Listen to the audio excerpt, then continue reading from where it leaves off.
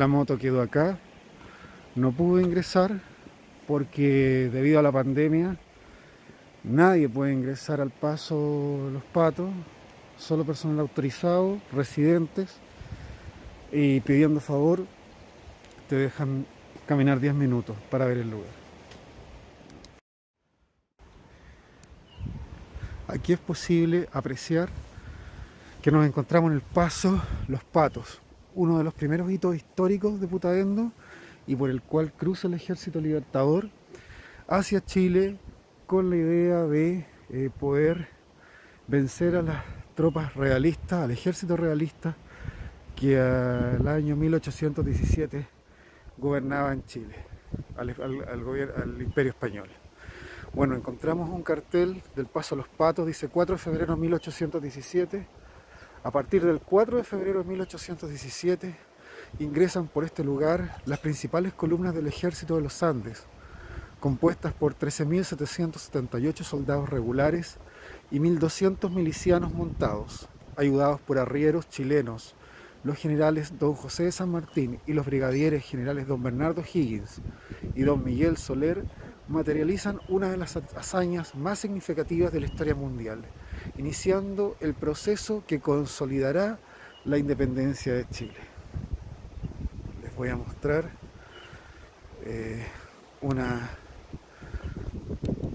una panorámica del lugar para que se hagan una idea. Este es el paso, o sea, no el paso, es el control de de los, pasos, de los patos. Como podemos ver, el acceso está restringido.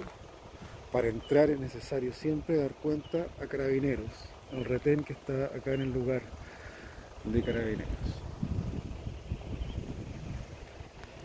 Vamos a tratar de ingresar. Primero mostrarles cómo es. Podemos ver que hay, hay una virgen acá que es no dice de qué año será ni nada, pero está en este lugar.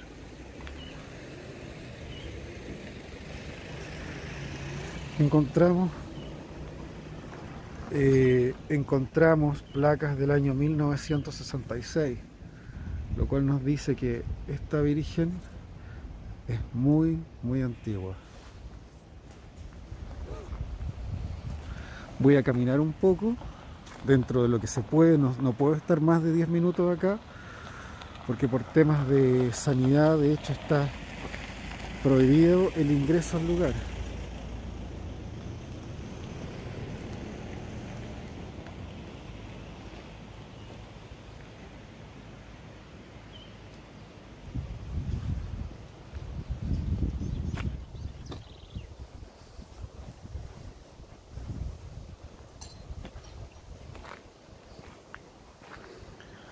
Por este lugar entró el Ejército Libertador a Chile.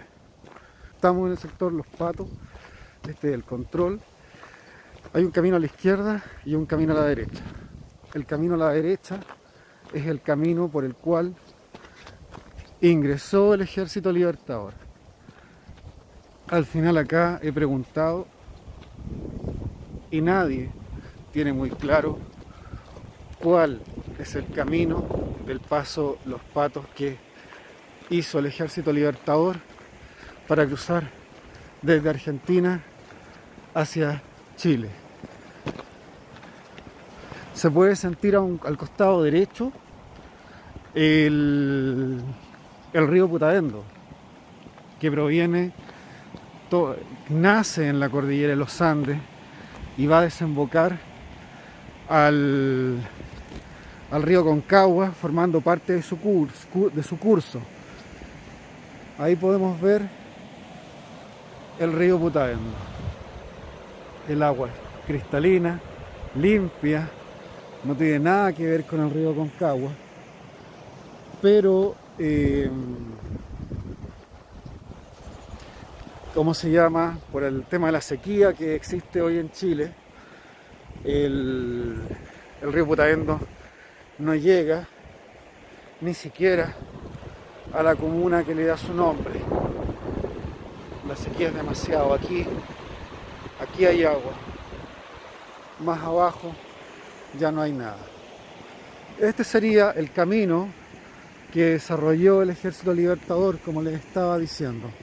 Allá vemos la cordillera de los Andes de, de fondo. No es posible hacer esto en moto, ¿ya? No es posible hacer esto en moto porque está no permitido el, tránsito de personas. Entonces aquí estamos pasando, digamos, caminando lo que no debiéramos caminar. Y vamos a preguntar al joven de la caseta de, de, de acá si este es o no es el paso de los patos. Ratificamos la versión y por aquí entró el ejército libertador a Chile. Ahí camino hacia Putaendo.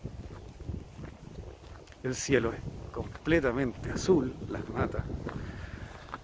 Y aquí se ve el paso de los patos.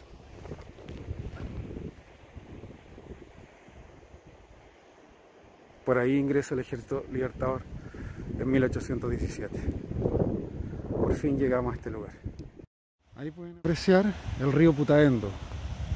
El río Putaendo entra a Chile en este sector del Paso Los Patos y después se junta con el río Aconcagua formando parte de su curso.